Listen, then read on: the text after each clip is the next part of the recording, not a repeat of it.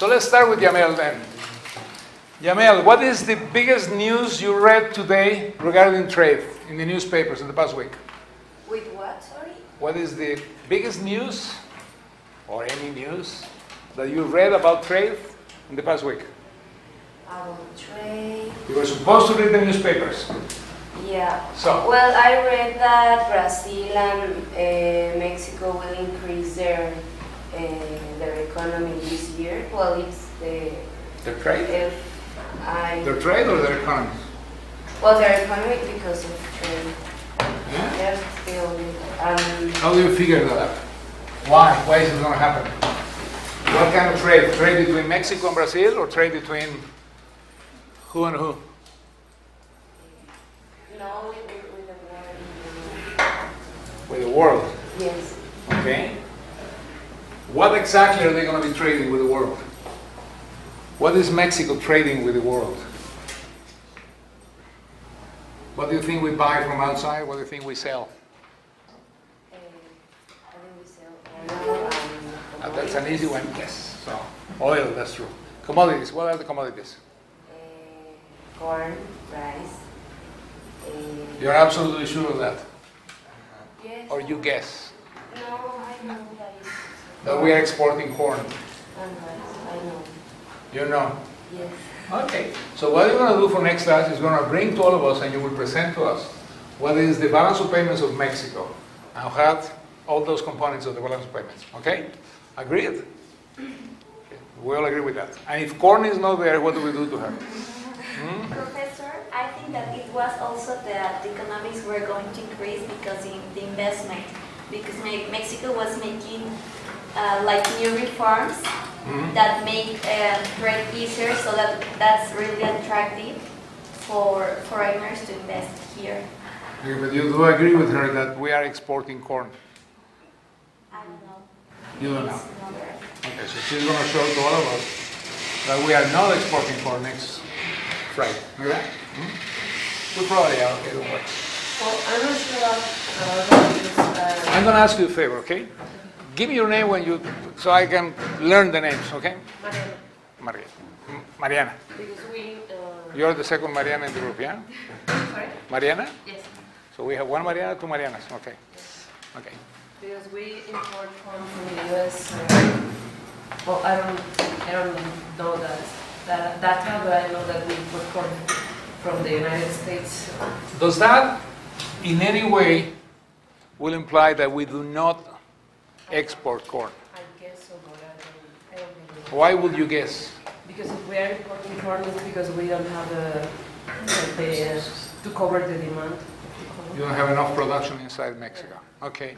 So what you will be saying will be, okay, if we really are importing corn, then it stands to logic that we should not be exporting corn. Yeah. Yeah. However, it could happen, yeah? Yeah or no? Yes. Why? Because of that, because if you are importing some product, it's because maybe you don't No, have. no, what I say is, you may be exporting corn anyway. Why will it happen? If, if you think it is possible, why will it be possible? And if you think it's not possible, then why do you think it's not possible? Because if you can export to some other place that doesn't have uh, corn at all, and maybe you don't have a good uh, production of corn, but you can export to another country that doesn't Okay. have it.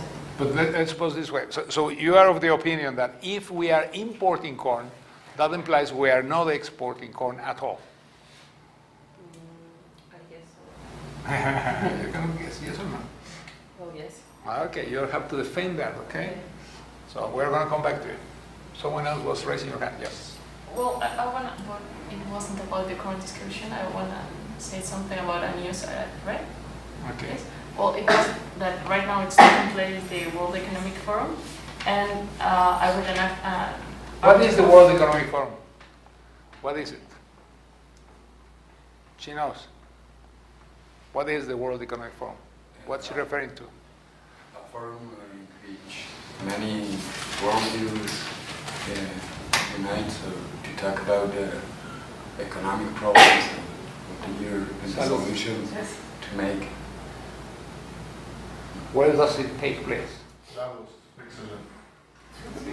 He knows very well. So what is, What is the, the World Economic Forum? She's going to explain it a little bit. Where? Well, I was reading yesterday, and I think it is an annual meeting where global leaders uh, gather around to discuss worldwide problems and try to make solutions. I think that's the World Economic Forum. Okay. What do you think they will be discussing this year? The most important international issue this year? Well, I, I read about um, the Europe, the, well, the problem that is happening right now uh, in Europe. Also, they, that um, the perspective of global economy is um, to, will not increase. Um, that also, and the, the, the, I have read something else. But the two things that you already said, one of them is the euro, The euro, okay, and the other one is the possibility that growth in the world is not really. happening here, what, what, what they can do. Uh, Okay, so let's talk about the first one.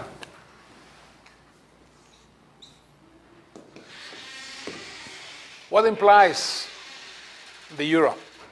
Why will we be discussing the euro at an international meeting where world leaders are gathering along with business people, the most important business people in the world? Why?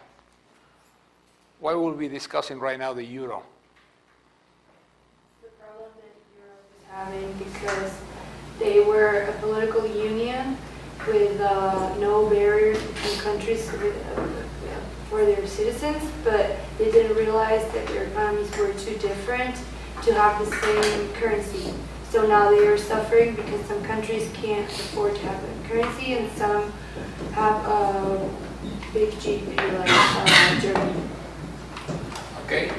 One of the largest trade agreements in the world is the European Union, yeah? Within, within the European Union, there are two type of countries.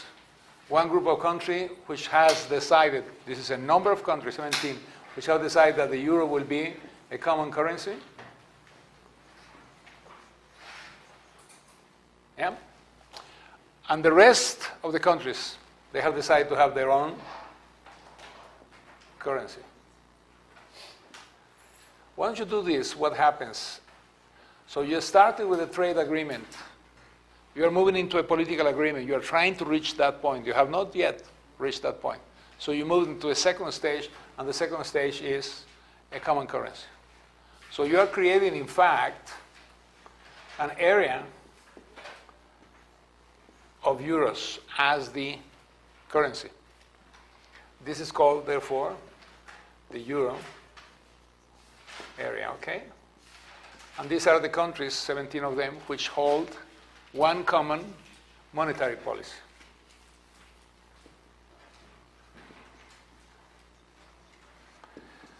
We are talking in this class agreements, treaties, where people will be joining in some specific areas of economics. The simplest one is trade. We move into trade by doing some agreement on what can or what cannot get into my country or your country with or without obstacles to trade. So we are eliminating tariffs, we are eliminating quotas, we are eliminating many other of those aspects that will be difficult in the trade between two or several nations. As we do that, we move into a first stage, which is a trade agreement. Then we want to move into a second stage, okay? And what this European Union has done is they thought about what about having a common area where the same currency, the same money will be used for transactions. So you moved into a higher level of agreement. You move from a trade agreement to a monetary agreement. And in a monetary agreement, what you're doing is you have a common monetary policy. Now, what is the impact? What is the implication of a common monetary policy?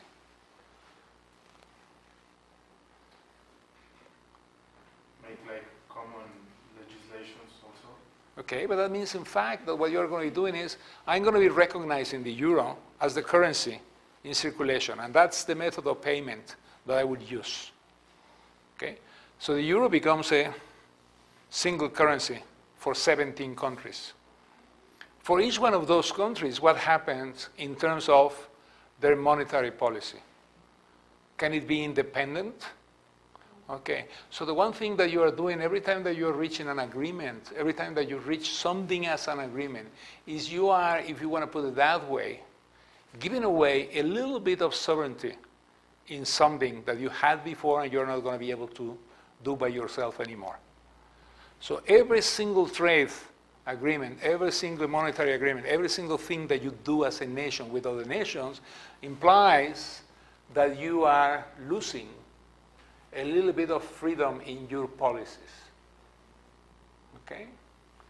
That implies I no longer can go to my central bank and ask the central bank to print money to finance my deficit.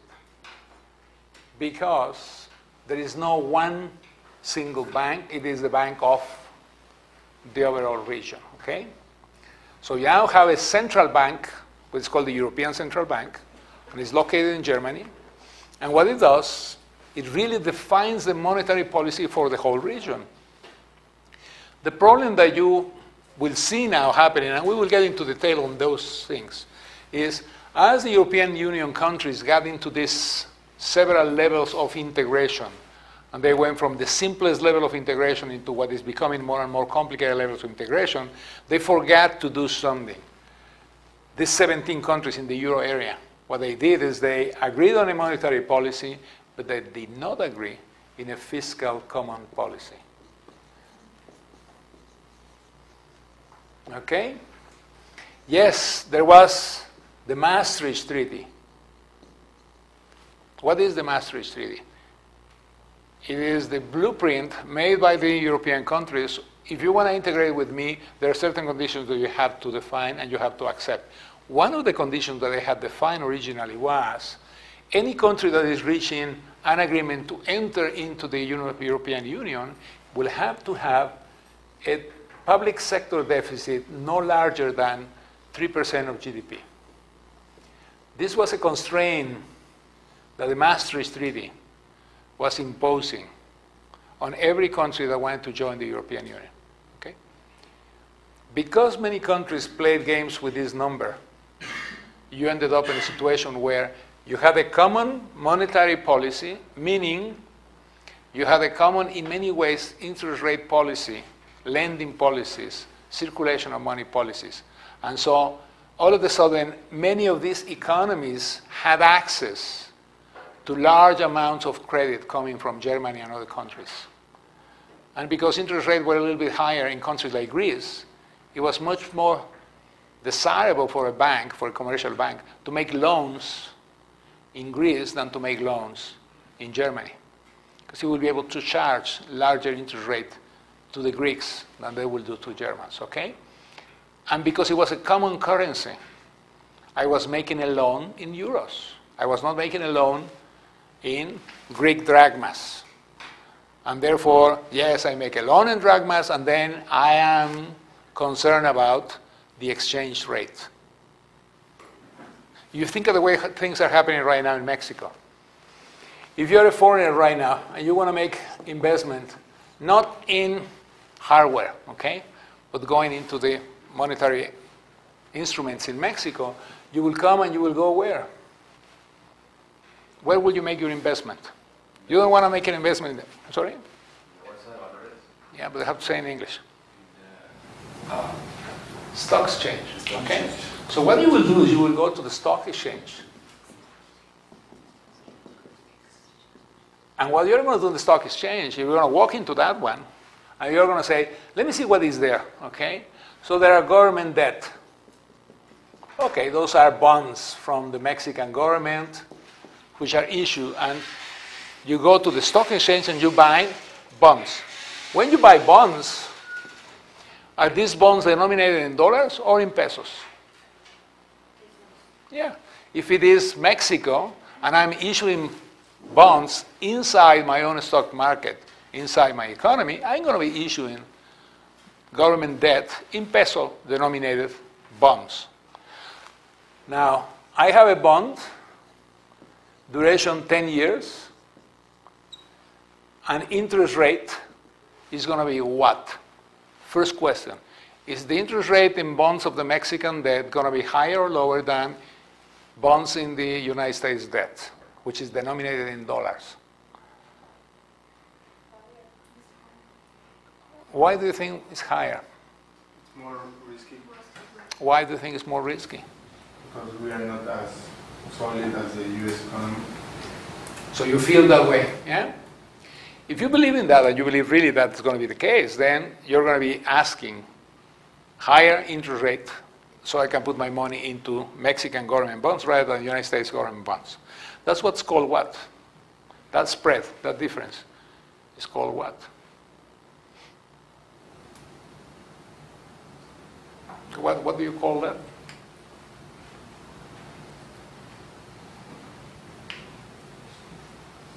What is the name of that index? If there is a risk in there, I'm going to be charging an extra interest rate. That spread is the risk of the country. Yeah? So when you make country risk analysis, what you do is you say, well, do I trust or I don't trust the Mexican government? Well, a little bit, okay? So if I'm going to be lending money to the Mexican government, I will be asking a spread. That spread is going to be very important because what it will imply is what is the difference that the Mexican government has to pay to get bonds in the market being bought by investors in the market. What market? The international market. Okay? So we now participate in the international market. We go outside Mexico and we place bonds in the big international market of financial. And they will be asking this spread, and that's the country risk. And the country risk is going to be a number. Now, that number right now for Mexico is somewhere around, depends on the day, somewhere between 125 135 basis points. What's a basis point? What's a base point? You seem like you know. What's a base point? If you're in international business, you need to know these things, okay? I know this is international finance, but in the end, what we're talking about is very simple. This is really what investors will be asking from the Mexican government to buy a bond from Mexico rather than a bond from the United States, assuming the same duration, 10 years, okay? So what I will be asking them is this, and what I'm going to be doing is I'm going to be making a measure of the risk. There are agencies who determine those risks, and they simply say, well, the risk of investing in Mexican bonds rather than in the United States bond, which is the benchmark, is going to be 125 points. If it is 125 base points, that means 1.25 interest rate higher. Okay? So every 100 base points is one point of interest rate. So if I am the American government and I put bonds in the market 10 years at 1.9%, for an investor to buy an equivalent bond from the Mexican government, it will be asking not 1.9, but that plus 125. So they will be asking 315. Okay? So the interest rate in dollar denominated Mexican debt in the market is going to be whatever the American bond is, which is denominated in dollars, obviously, plus this spread, which is the country risk determined at some point. Okay? So when the Mexican government goes out and says, I just placed $1 billion, $10 billion in government bonds, 10 years, 20 years, 30 years, what you will see is that it's going to be a certain spread between the same equivalent bond in the United States and the bond in Mexico. Everything I said right now is in dollar denominated, okay? The Mexican government is putting bonds outside and is saying, I'm going to be putting these bonds in dollar denominated terms. So I will have to pay dollars. I'm not paying pesos, I'm paying dollars. Then the government of Mexico says, but I don't want to do that. I want to place bonds in my domestic market, the stock market of Mexico, and I want to put those bonds in peso denominated terms. You are a foreign investor. You are coming from outside Mexico looking at this option.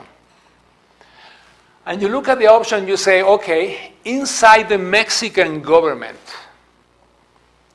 When I see the Mexican government placing bonds in Mexico, in the stock market of Mexico, it has to have a certain amount of what? Of interest rate that I will be interested in. Yeah. What is the benchmark in Mexico right now for government bonds in pesos? Well, it is approximately right now 4.5 to 4.8 points, okay? So your interest rate's about 4.5 to 4.8. This again is the benchmark in the Mexican market, okay? You want to know what's going to happen with the monetary policy of a country? Go and look at what are the interest rate that the government pays in its bond. Because that's going to be what? That's going to be the safest investment instrument that you can find if you are a financial investor. Who makes these investments? Well, you are young, but you will become old.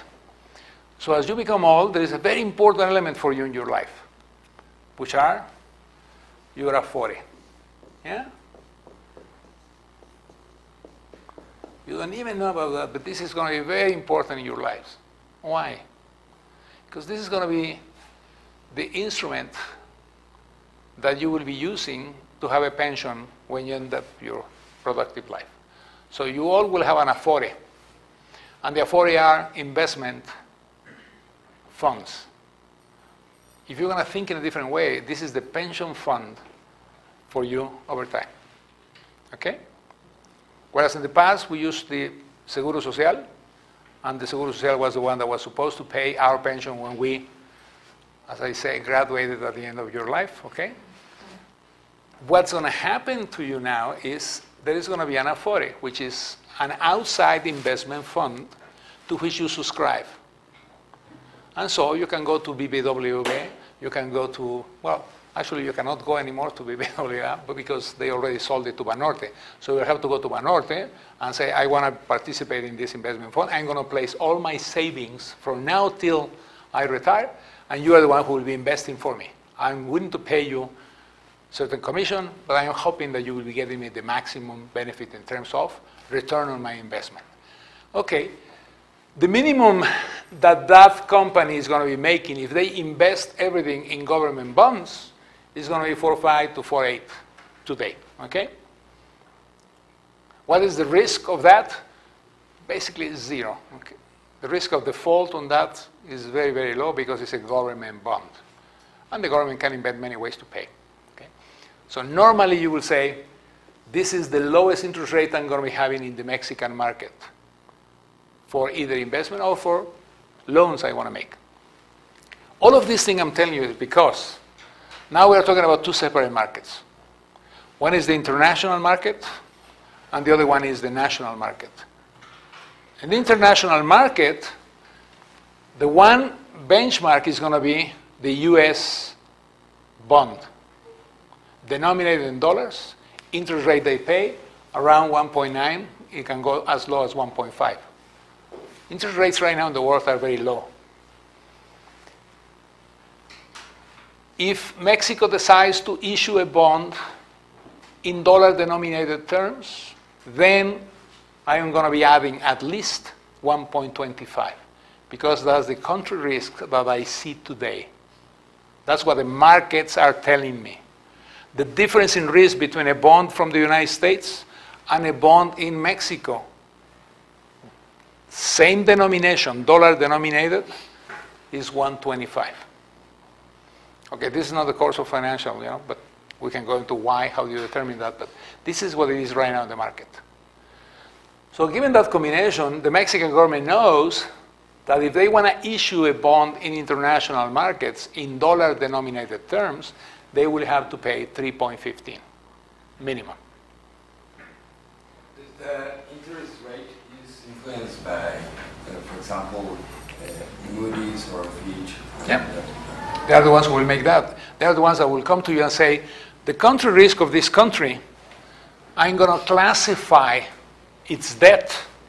And the Mexican debt right now is classified BBB, which implies good investment, but not excellent. I mean, in fact, right now, in terms of the world, we are very good. We're really excellent. But despite that, what the classification says is you are not AAA. In fact, the United States is no longer AAA, okay? So the largest and the best denomination in terms of classification is AAA. AAA is the lowest, most secure investment you can make. We are triple B. That means we are great investment. All these classifications are important because that's the way that pension funds decide where to invest, what, how to invest, okay? But once you reach that point, you know that if the Mexican government wants to come to the market because they are classified different from the classification of the United States bond, then they will have to pay a premium. That premium is 1.25, which is the equivalent of the benchmark that's been determined by the Morgan bonds in this case, or there are many other things. And that's 1.25. So how much does the United States pay? 1.9. How much does the Mexican government has to pay for an equivalent bond? 3.15, assuming these numbers, okay? I was just gonna say that right now, in, well, in rate they were gonna take one of the, um, A because of the government debt. Yeah, yeah. The, the United States lost the AAA, but you know, regardless of that, we all, the immediate reaction here was, yeah, the United States. Well, you know, maybe not. If I am thinking about who is more capable of paying in the long run right now, I would say Mexico. Why? Because the Americans are fighting all this discussion about what should be the debt limit that they will have and all these other discussions. What happens if all of a sudden in May of this year, well, I'm, I'm assuming that they will be approving change between March and May, but in May of this year, the political situation in the United States so deteriorated that the United States Congress decides they will not agree on an increase in the debt limit of the United States unless President Obama really reduces the expenses. If he does that, if that fight comes and it really happens, then all bets are off. Who's going to pay? Who knows? Because you have no capacity to put more debt and you will start non-paying many things. So in, in a way, what we're talking right now is the nice discussion in the United States is very important to Mexico. Because if all of a sudden you have a problem in the United States and they really don't reach a political agreement, we may all be in the soup, okay? We may all be in trouble. So, why was I presenting you these things? Because I'm trying to make you see two things. This is the domestic market. This is the international market, okay? Right now, I can participate in both because I decided I am a globalized country and economy. This is one of the things that's happening in the world in the past 40 years. As this possibility of my putting bonds either in foreign markets or in domestic market arises, I can participate in the international structure of financing. That means foreign investors will be looking at my country where they can really make investment possibilities. So, I look at dollar denominated bonds from Mexico and the United States. I'm asking for a 125 premium. They're both in dollar denominations. Ah, but I go into the internal market of Mexico and I make an investment in government bonds in peso denominated terms. Am I going to charge them 315?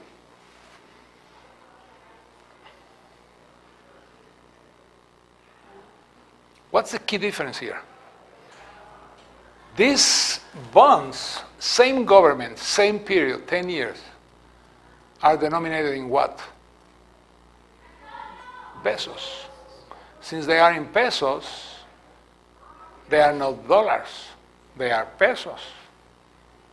So the problem I'm facing right now is what if there is a devaluation of the peso? If the peso is right now 3 to 1, which of course is not, you know, and the peso goes to 2 to 1, What happened in terms of dollars?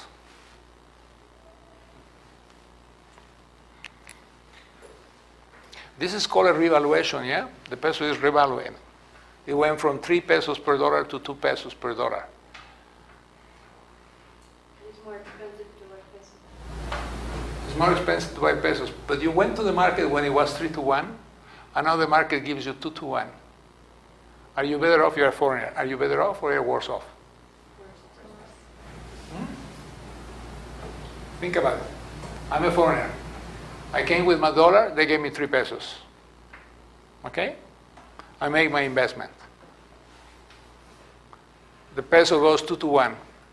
I have 3 pesos. How many pesos do I need to buy a dollar? Two. I have one extra peso left. What do I do with that extra peso? I buy dollars. How much can I buy? Half a dollar. Okay.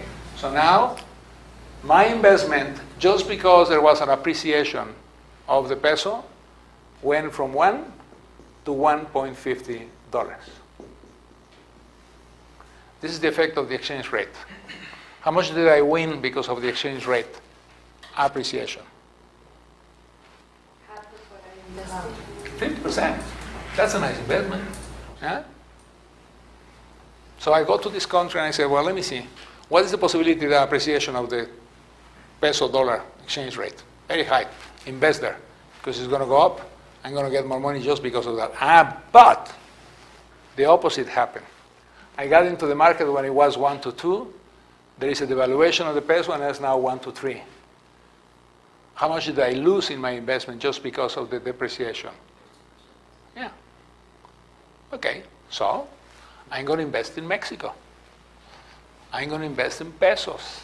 Am I going to charge 315?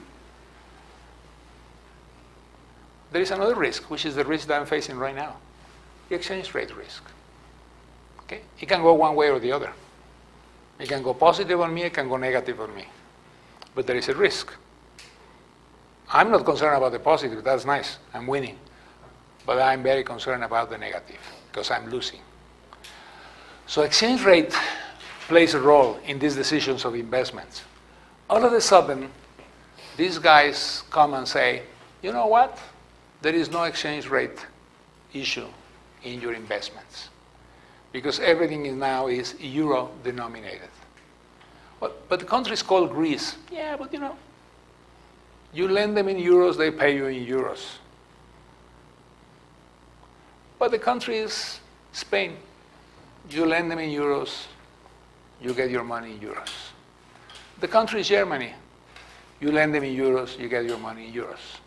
All of a sudden, by creating the monetary area, what you have is the possibility of anyone who is making investments in that region, coming from one country to the other of that region, knowing that the one thing they have no problem with anymore is this exchange rate issue. Okay? And so what it becomes then, it becomes a country issue. It becomes just this part. Once I did that, because you took away from me the exchange rate risk, I'm going to start buying bonds now. Between Germany and a country called Greece, are the two economies as strong as the German, or is the German stronger than the Greek? Okay, that's the general assumption. Sometimes maybe wrong, but yes. In this particular case, it is true because the production capacity, the saving capacity, etc., of the country. So I'm going to be asking the Greeks for a larger interest payment than what I will be asking the Germans. Okay? Country risk. Do I have to worry about the exchange rate risk? Not anymore. So I'm going to worry only about this thing. Again, last class we talked about fundamentals. When I look at the fundamentals of the Greek government, I say they are very strong because they are telling me that they have a 3% deficit as proportion of GDP, which means that they can get money, lend money, obtain money, and they will be able to repay. Ah, but if they were showing me numbers which were wrong and they really had a 10% GDP deficit as proportion of GDP, It's very different, this from this. The country risk is not 125. The country risk should have been, you know, 10 points more. But I didn't see this because I was playing this game and they were showing me numbers. So I made lots of investments in these countries. And people were very happy because they were getting cheap credit from outside. They were buying houses, they were doing many things. The economies were booming. This is called the consumer boom. You know, the Spaniards were happy buying houses. One piso in Madrid, one piso in the beach, one piso all over the place because I get debts and the interest rate is low and I can pay for that. Until you couldn't pay, okay? Because I'm in a monetary policy, but I don't have the common fiscal policy, the problem that I found out later on was this had a fundamental flaw. And that fundamental flaw was the fact that you didn't have a common fiscal policy. This is the problem of the euro right now. This is the problem of the euro area. This is what they will have to discuss. And what they have to discuss right now is how are going to be distributing the losses? Because the profits are gone. So now every country has to decide how much am I going to pay for this amount that is being lost?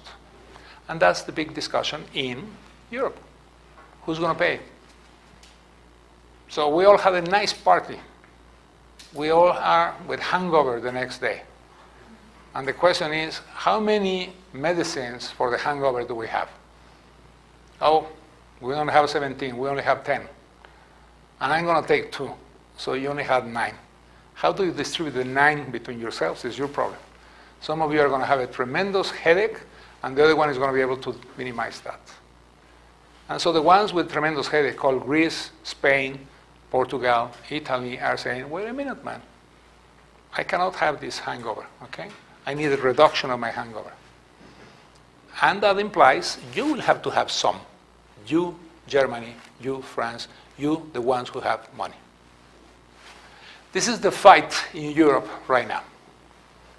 Add to that internal political situations, Davos is going to be fun, okay? Okay, so what did we learn last time? We learned that trade leads towards the so-called convergence law or to what Samuelson his famous paper called factor price equalization theorem, okay? Which indeed implies in the long run, if you really allow trade to take place, and if the conditions of a free market are determined, over the long run, payment to all factors of production will be practically the same. So labor will be getting wages which will be equalizing each other over time among countries. We know that this is true because we see what's happening right now in China. Okay?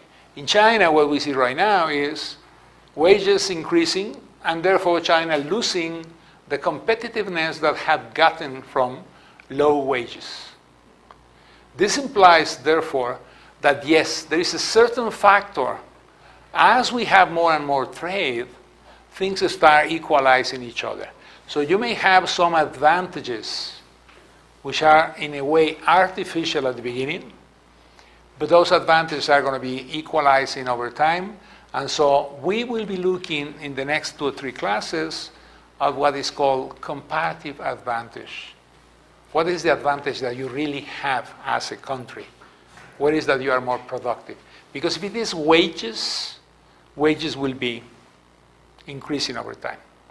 And so it cannot be wage, it has to be productivity. Ah, at the beginning it is wage.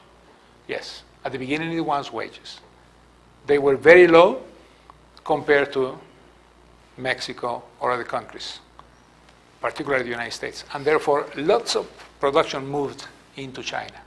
As that production moved into China, they began hiring people, they began providing them with skills, and they started asking for higher salaries. So slowly what's happening right now in China is you have the same problem that we have. Theoretically, you can read the paper of Samuelson, okay? This is one of the papers for which he got the Nobel Prize. But theoretically, what you will do is you will go into the factor price equalization theory all factors will be reaching the same value. Okay? But we all know that it takes a long time. And as I said in the last class, the problem with this is you're going to have a migration of industry. So it moves from Mexico to China, from China to Vietnam, from Vietnam to Bangladesh. Finally, will be equal at some point. But there is always this, you know, unfortunately, because we have this problem in the world of lack of employment, we will end up with this industry migrating from Mexico, textile, to China, from China to Vietnam, from Vietnam to Bangladesh, from Bangladesh to Honduras, Honduras. As long as you can do that, this is going to happen. Industries will migrate looking for the lower cost possibilities, and salaries will increase. Second thing is, trade benefits are not shared equally between nations or between people within each nation. Okay? Yeah, there is a large middle class in China today. About 400 million people have been taken out of poverty. But there is still about 400 million people in poverty in China. So one of the problems is, yes, things work, things get better, but the distribution of the benefits of trade does not necessarily go to everybody same way.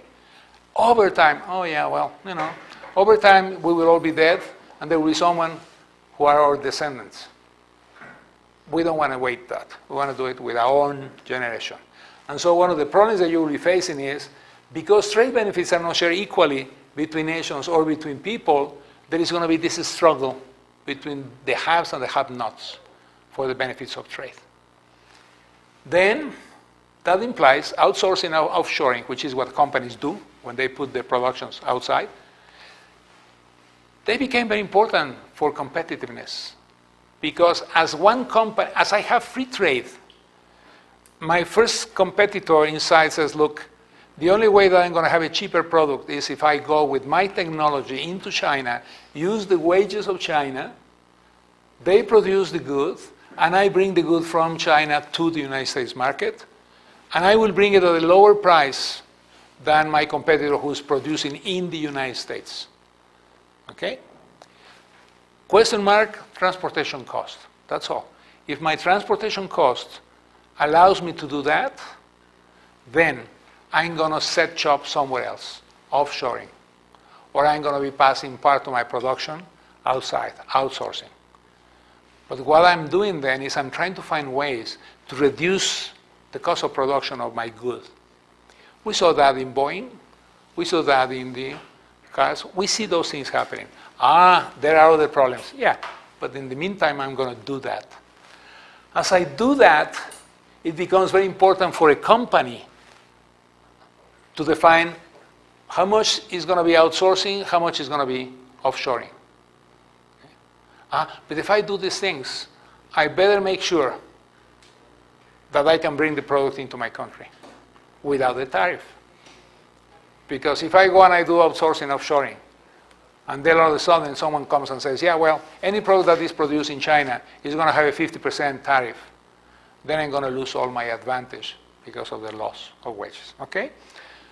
And of course, because benefits are not shared equally, there is going to be a pressure group asking me to raise tariffs for those products.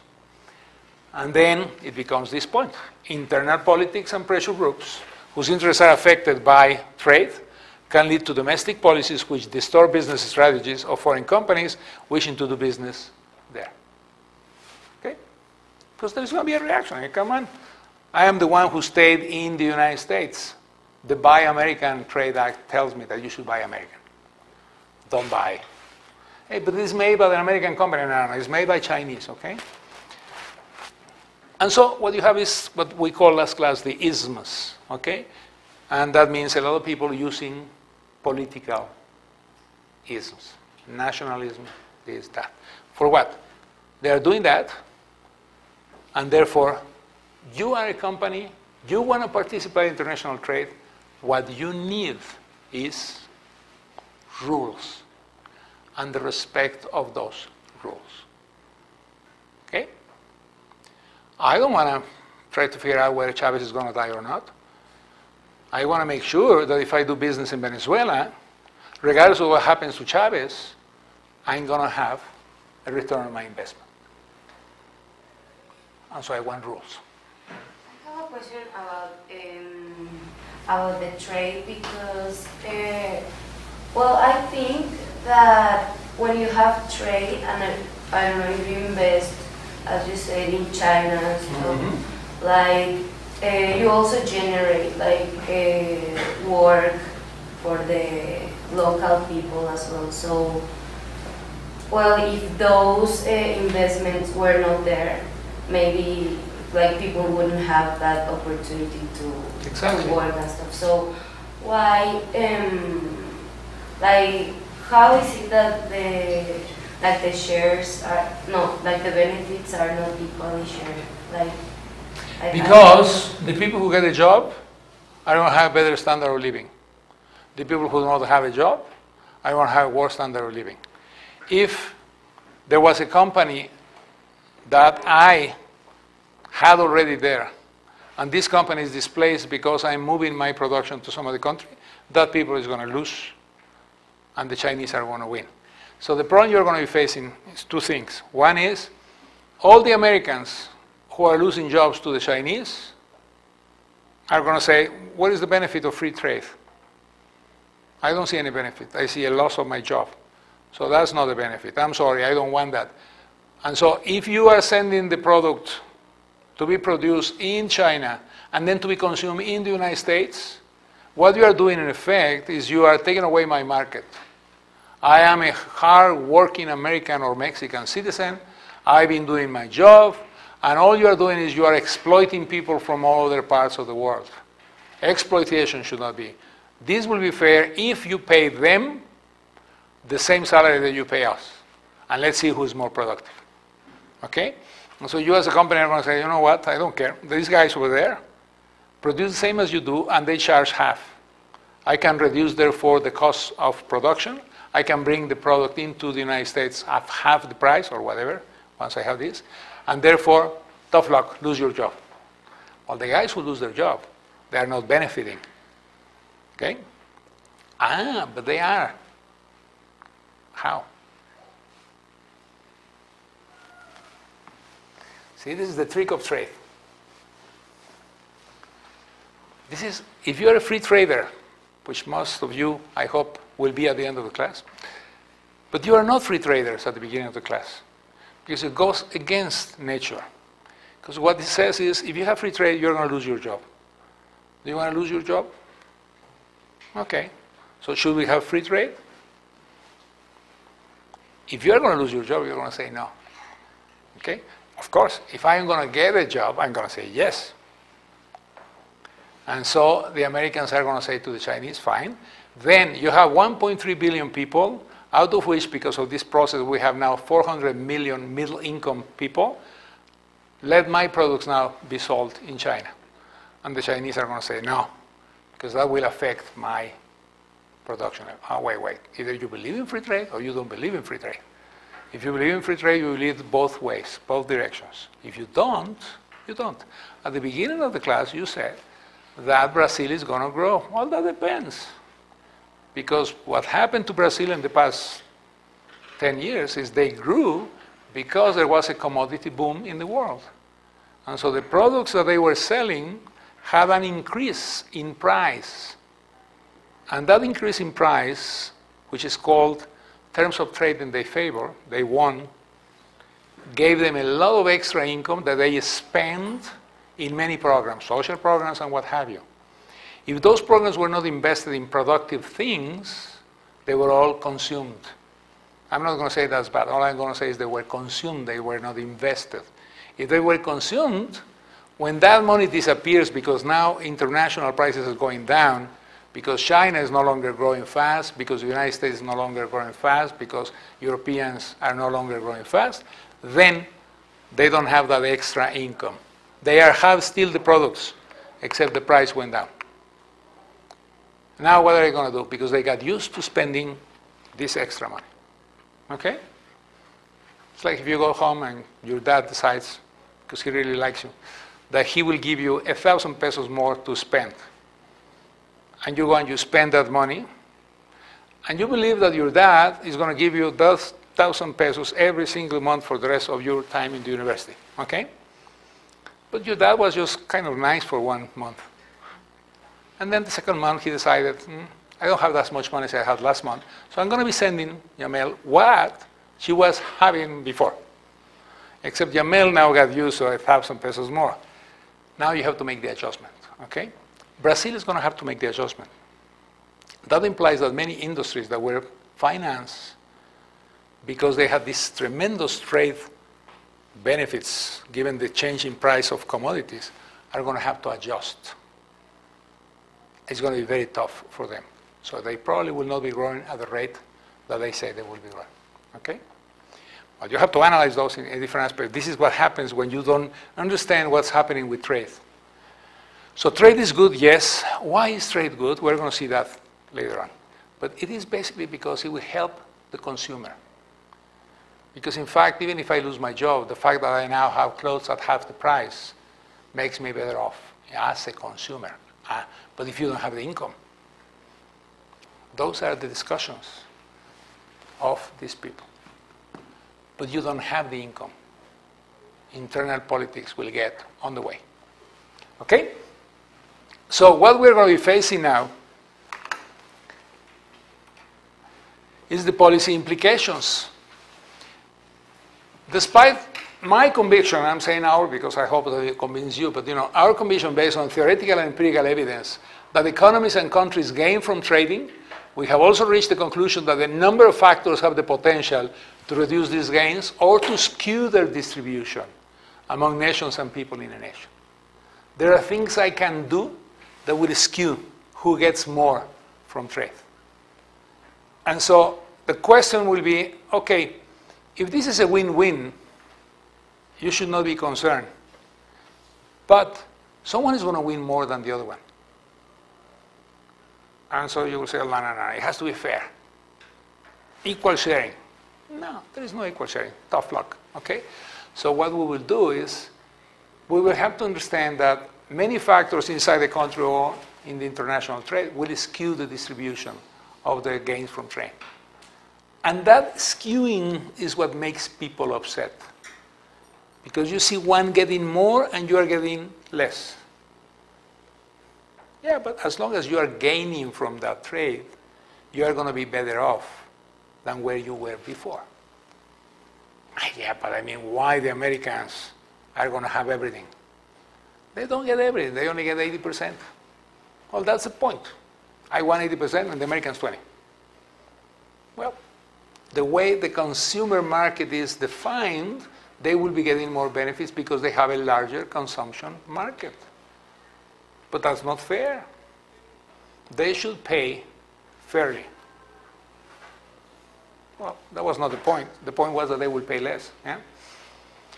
So many poor countries will also have another problem. Many of them face supply, supply constraints that make it difficult to increase trade, even when market access is not an obstacle. They don't have the roads. They don't have facilities. They don't have the ports. And as they don't have those things, they simply cannot benefit from trade. Okay? Significant costs may be generated by adjusting a country's production structure to trade liberalization. Yes. If I had a, protect, a protected economy and also I opened that economy, the system of production of that economy, which was based on the fact that they were protected, is going to suffer.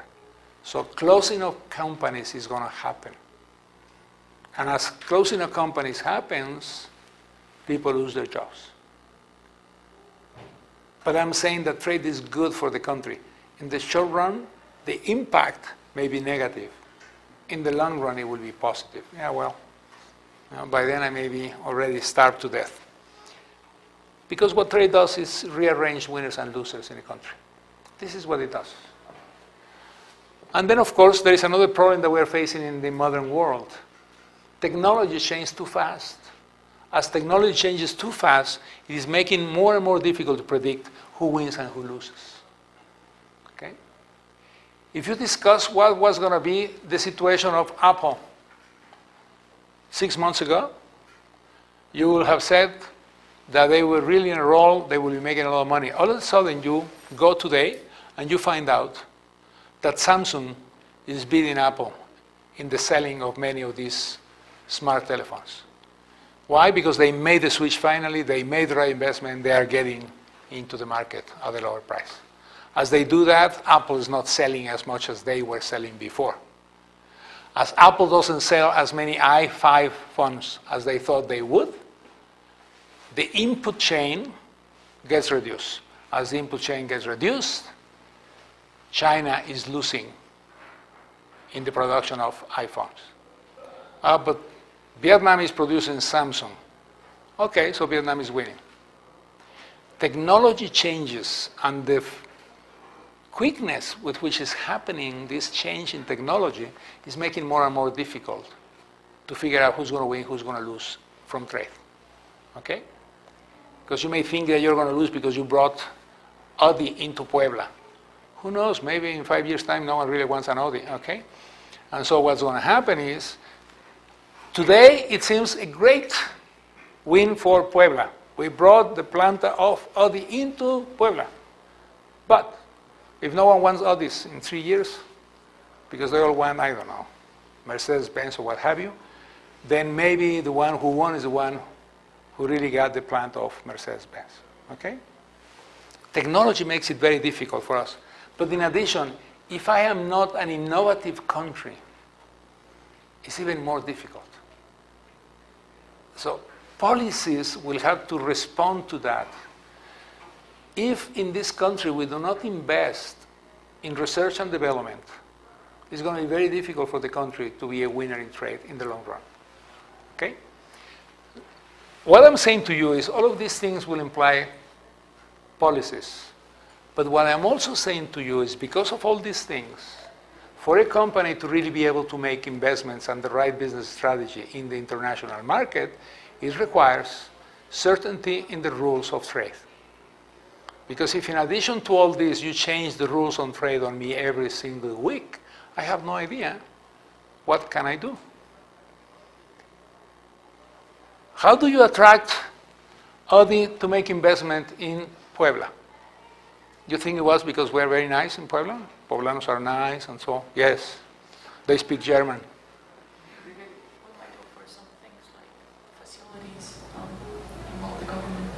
So I told Audi that I will give them a trading center, I'm sorry, a training center where they will be able to train people.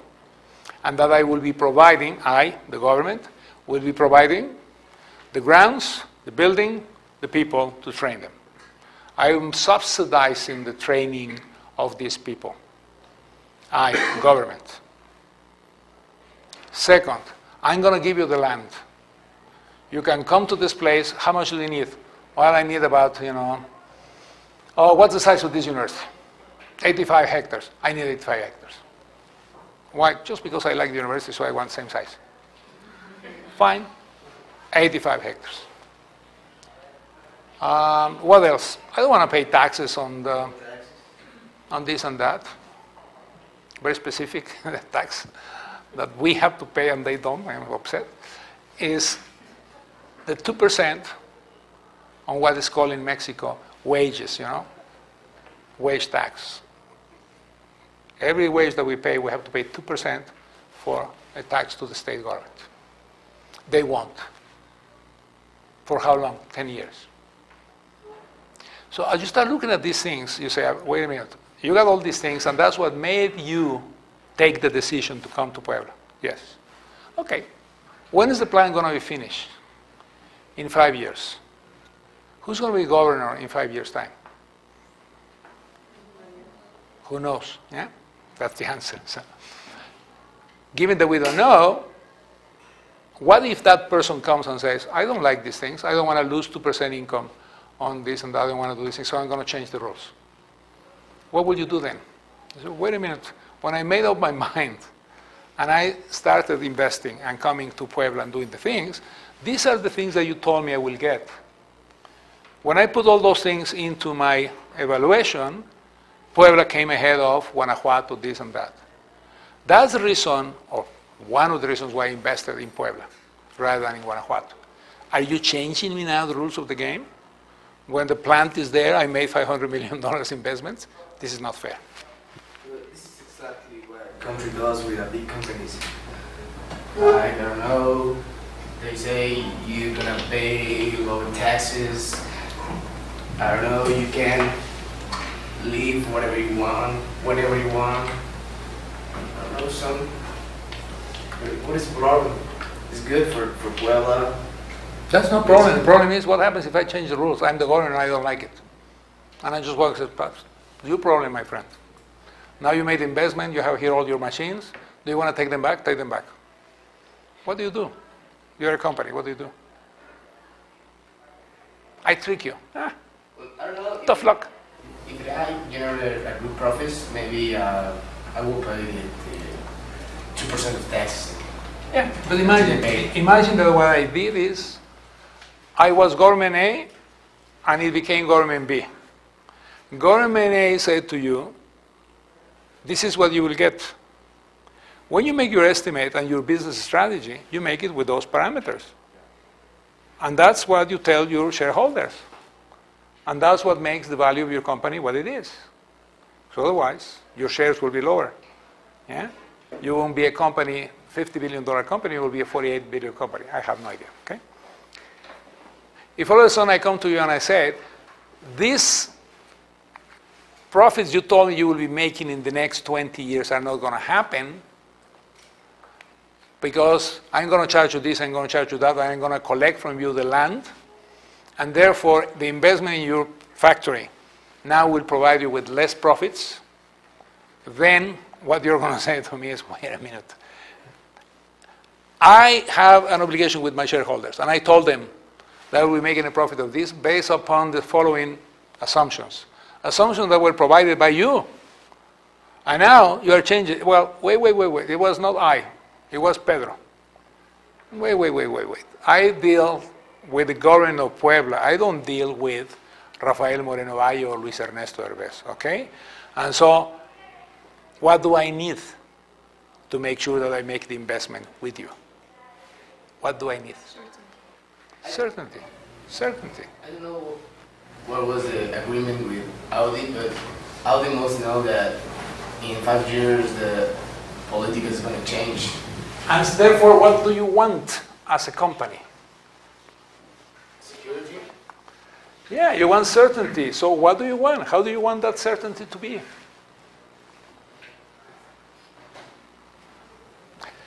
You want rules of the game that do not change just because someone came and said, My name is Luis, it's not Rafael.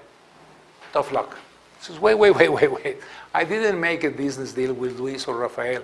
I made a business deal with the state of Puebla or the government of Mexico. Yeah, well, tough luck. So, what you want is something which is very important. You want to make sure that the rules will remain. Okay? And you want that because, let me show you here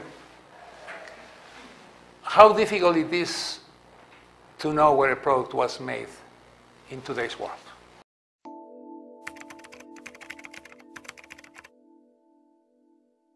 How do you know where the products you buy come from? When today the traditional label made in is outdated. Nowadays, many products are built out of a supply chain that crosses several national borders. Items like electronic or transportation equipment are the result of a network of factors in different countries involved in the production, delivery and sale to the final consumers. In this simple scheme, we see that many steps are required to transform raw materials into parts and components, then final goods, before they arrive in the customer's basket. Today, this process is truly global. However, the label made in refers only to the very final stage of the production. This can be very misleading. For example, let's take a mobile phone. It is designed in Finland and exported from China to the United States. Thanks to a study made by the Research Institute of the Finnish economy, we can see how this telephone comes together on a global supply chain. This telephone is made of 600 individual components and other inputs such as software licenses. The hardware components account for 33% of the mobile retail price. The software design, mainly licenses and copyrights, represent 4% of the retail price. 47% of this price is due to research and administrative tasks. The actual assembly of the telephone accounts for only 2% of the total value. And other tasks, mainly distribution and retailing, represent 15% of the final price paid by the consumers. Now, let's observe where the value added comes from. Administrative tasks are done in Europe, mainly Finland and the UK.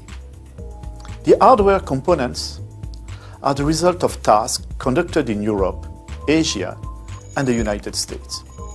The software design comes from Finland, UK, USA, Germany, and Japan. Final assembly and mass manufacturing are done in Finland and China.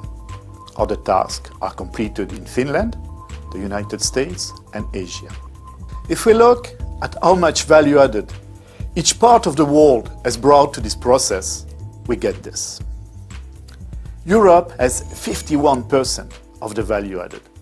This is because it is dominant in the branding, development, design, and administration.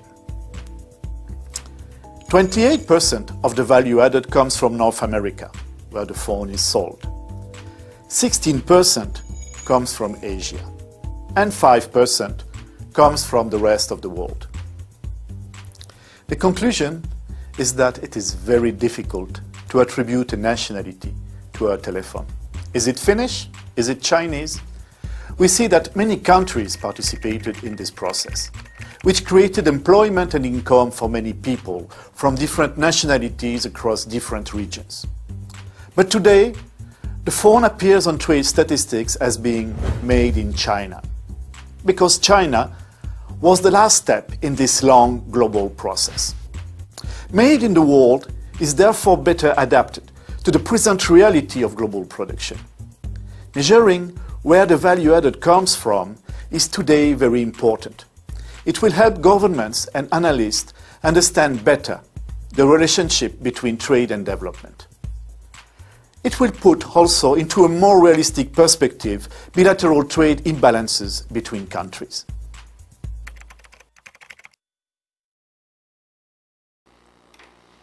Is what we learn from the video. And what we learn from the video are these things. One, value added counts. If you look at the result, the final result of that fund, the fact that it was designed, license, administrative costs in Finland, Germany, made the largest amount of the benefits gone into Europe, 50 some percent. Okay? And then as you do other things, you will get less and less and less benefits from trade. This is the whole point of who gains from trade. Okay? Development administration count, marketing and retailing count, and the final assembly of product in a country does not necessarily imply that the product was really made there. Outsourcing and offshoring. This company, Nokia, what it's doing is sending for the final assembly into China. So the Chinese export the product and they say that they sold the phone which is worth $20 or 200, whatever. When in fact, all the amount that was left in China is not going to be more than 20, one tenth of the total value. So gains from trade in the world that we're talking right now are very different to measure from the simple idea that look at that, how powerful China is. In fact, what China is doing in many ways is simply assembling the final thing and getting the lowest amount of money from the product because they have the lowest proportion of value added done in that country. Outsourcing and offshoring became very important, but production fragmentation also carries costs. Okay? So what the companies are doing is they are fragmenting their production process.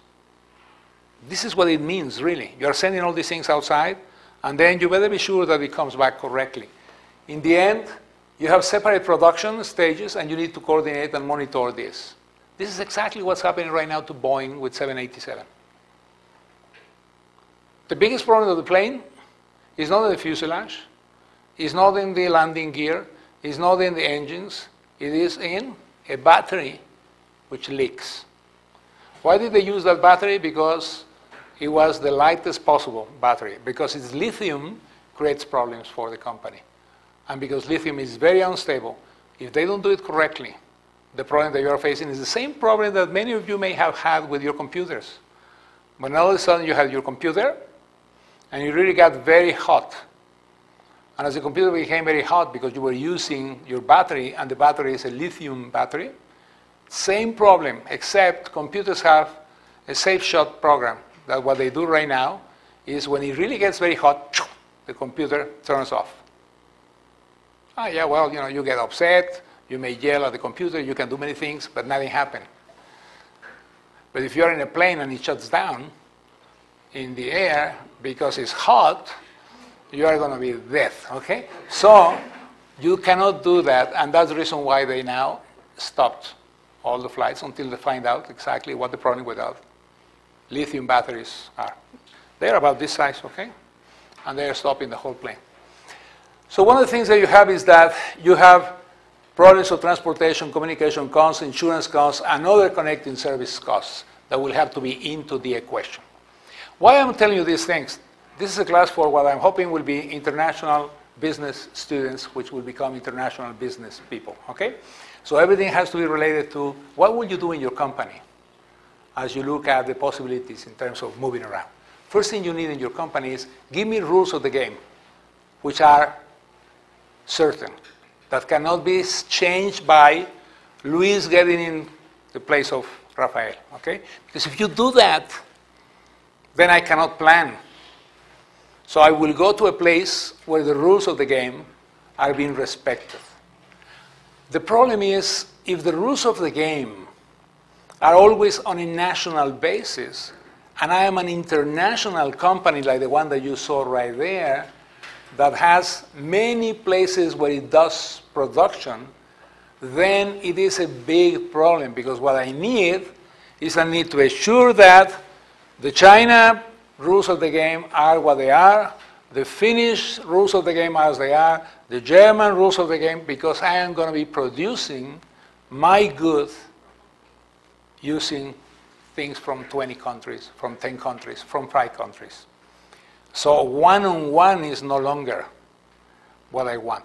What I want is a global system of rules, one that I can trust, one that I can say, no matter who's going to be in government in Russia, if I make an investment in Russia, which is part of a product that has been produced in 20 countries other than Russia, I will be sure that the Russians will respect the rules of the game. For what? For that particular input into my production process. Otherwise, I cannot operate. I can't operate. But what's the purpose of the products saying where they were made if all the companies are outsourcing and offshoring? It doesn't really matter because it was also Yeah. made in so many other. It doesn't matter. But what matters for you as a company is wherever I'm going to be doing business, meaning by that, if my production process goes through seven different countries, I want to make sure that the agreements I have for my investments in each one of those countries will hold. Because if one of those agreements do not hold, then my whole production process is going to be affected. Even if the other six countries respect the rules, if this country doesn't, I'm in trouble. Okay?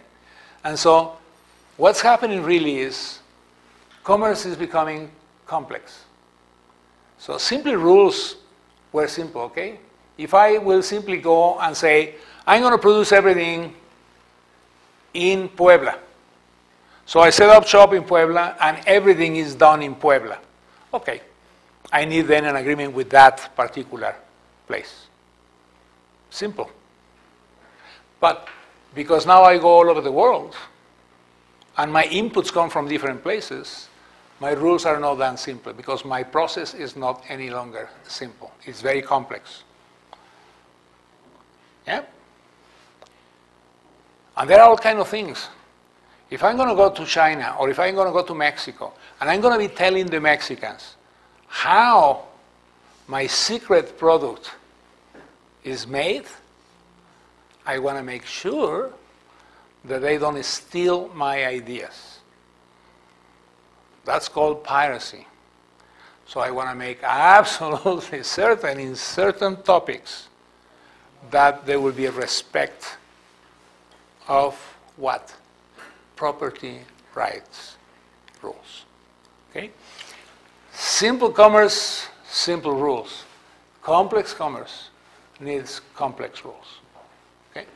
And so what's happening more and more is when everybody's selling in different ways, they will have to go into different processes. Okay? And so in 1947, when the GATT started, you know, the original agreement on trade, uh, it was very simple. And what is called the disciplines, meaning the things that will have to be defined as part of the ruling system, part of the legal system, were very simple. Okay, so we're going to be reducing tariffs. Ah, fine. This is what you do, and this is what you have to do. But today is more and more complex. There are many other things that you want to make sure as a business enterprise that will be protected before you get into making investments or participating in a country. So what's happening is in 21st century, we became more and more complex in trade. We just saw it right now. And as we become more and more complex, that means that we are imposing, we as a company, are imposing more and more rules. Uh, do, don't you think that property rights are somehow against free trade?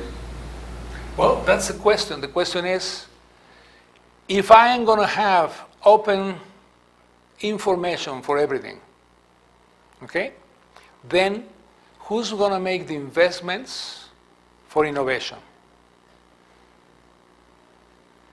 Innovation costs. It's part of the production process. Creating a new product costs. If I'm going to make those investments, then if you want me, after I make the investment, to make that available to everybody, I'm going to say, no way. Okay? What I will do then is I will wait for you to make the investment, and I will steal it. Oh, but it's not really stealing because it is allowed, ah, well, then you know what? There is no incentive for me to make that investment. Because the whole thing of the investment process is I'm going to make a profit out of my investment. But if what you are telling me is the profit is going to be taken away from you because I'm going to pass on the information to everybody, then I'm going to say to you, I don't play the game. Okay? And then what it implies is, okay, then you put a system, your government put a system where you will be investing and we all will profit from that investment. That's fair. And then you will say as a country, wait, wait, wait, wait. If I am Mexico and I make the investments, why should I give the results of my investment to the Chinese? My people first, yeah? Complex processes require complex systems. So it's absolutely correct what you're saying, okay? Normally you will say, I will say as an economist, okay? Free competition, free markets. Yeah, well, if you do that, the question is who is going to invest? Who's going to discover new goods? And so you go with the people and say, well, maybe we don't need any more goods. So let's live as we are right now for the next 300 years. As a matter of fact, why don't we go back to our origins? Why don't we don't become farmers? You wouldn't like that? No? Really? You would like to be, you know, in the nature, have all these products which are organic, created, that will make you sure that you will die at 50 years of age but will have no cancer? Isn't that nice? What do you prefer? You prefer to live to 80 and die of cancer, or you prefer to live until 50 and no cancer? I, am joking a little bit, okay? But what I'm saying to you is this discussion is really what's taking place right now between fair trade and free trade Okay? and it's becoming very complicated, particularly in what's called TRIPS, which are all the agreements on property rights. We will see all those things as we move. All I, I want to show you in this first section is why trade is good and what complexities are beginning to happen in trade. So that we know that, yes, it's evident that we need a trading system that has rules. And I need to figure out what those rules are. Now, we started with GATT, was very simple, and now we have to look at a system that looks at this trade investment services nexus. Okay? So otherwise it won't work.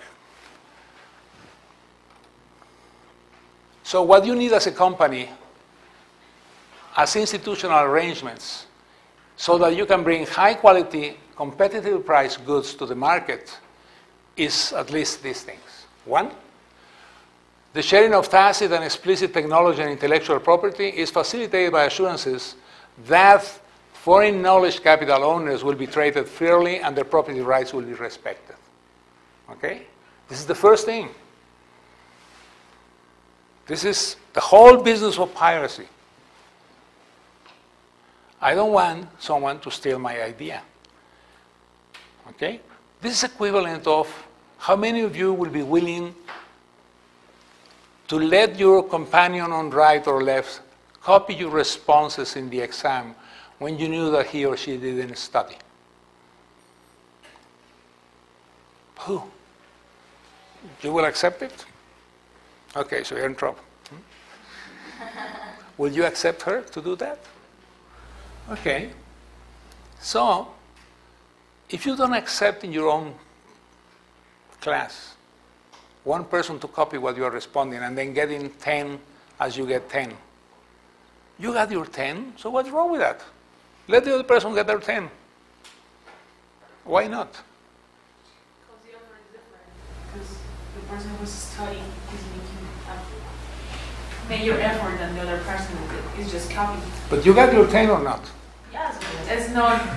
it's Don't, don't be envious. Come on. Yeah, I got me 10, but it's not like a cool way to see that the other person got the 10 Oh, if he didn't study. But they didn't know anything anyway, so. In the end, you know, and he or she doesn't. Isn't that nice?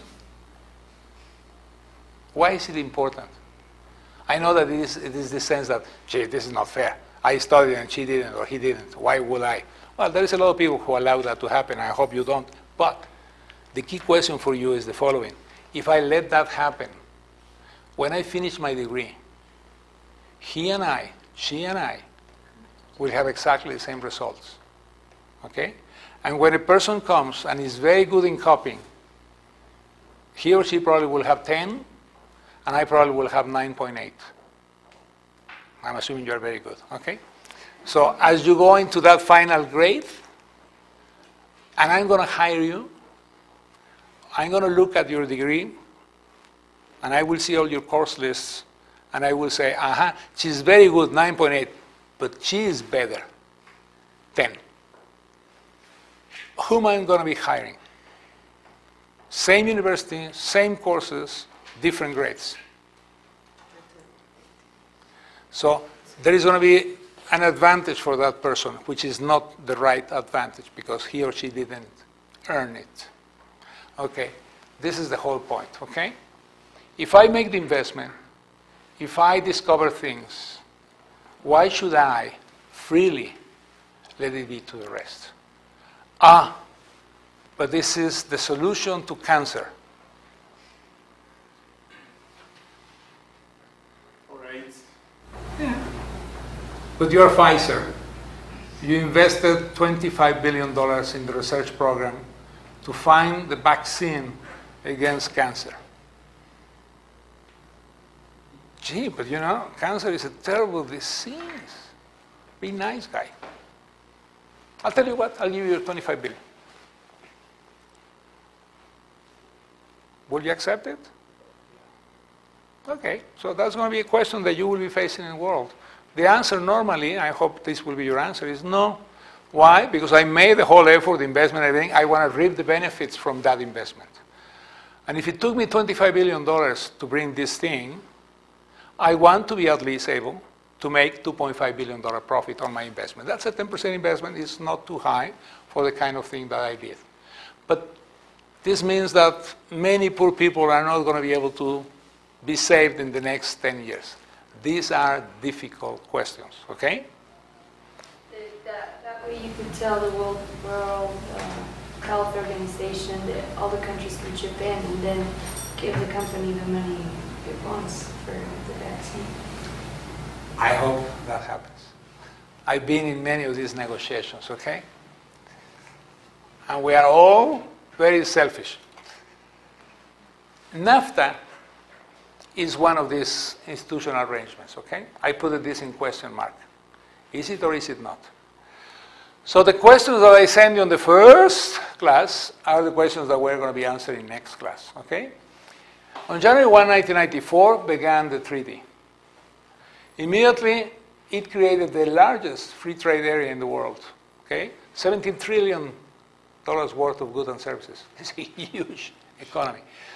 All remaining duties and quantitative restrictions were eliminated as a shell on January 1, 2008. The US and Mexico agreed to establish procedures for accepting results from testing facilities in the territory of another NAFTA country for use in the conformity assessment of telecommunications equipment. This is another thing that happened that people don't focus on. All of a sudden, what we're finding out is I do my things there, someone reviews that those things work, and I accept them in my country as ready to be used. I don't go through a testing process in Mexico, and vice versa. If I do the testing process in Mexico of a new product, and I say it is good, the Americans will accept the product as if it is good. Okay? So in many products, that helps a lot because it allows the manufacturer to test a product only once and then have the test results accepted in the other NAFTA countries.